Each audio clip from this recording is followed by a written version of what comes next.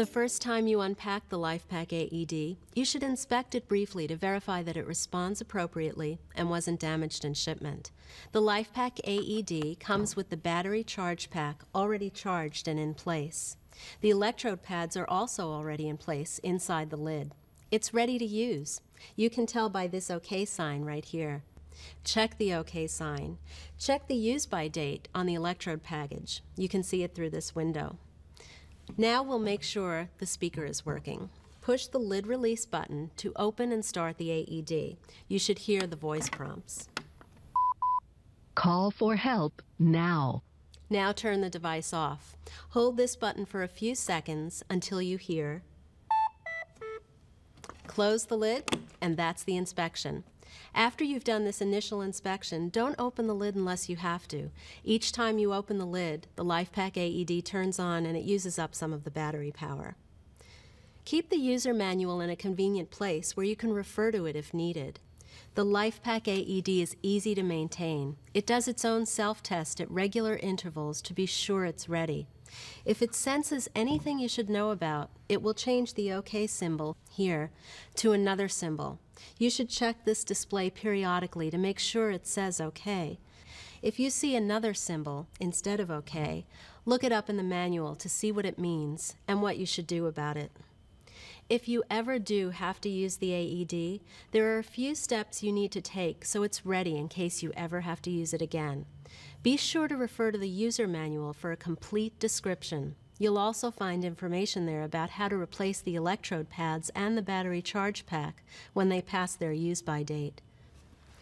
The charge pack goes right here.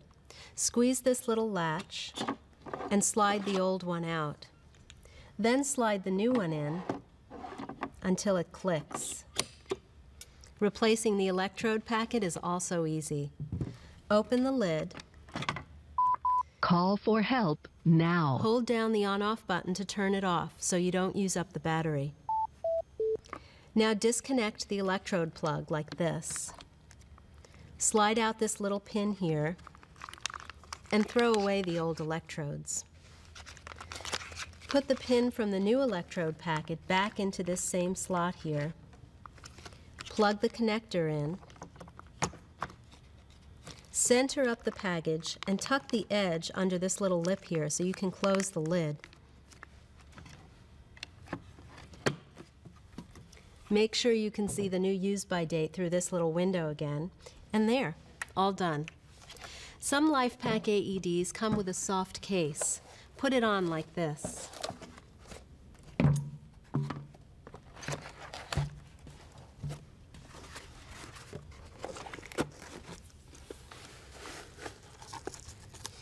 It closes with these Velcro straps. And finally, where to store the LifePak AED. You should keep it in a central location, preferably near a phone so you can call 911 while you're getting the AED. Put it someplace where it's easy to see and easy to grab in an emergency.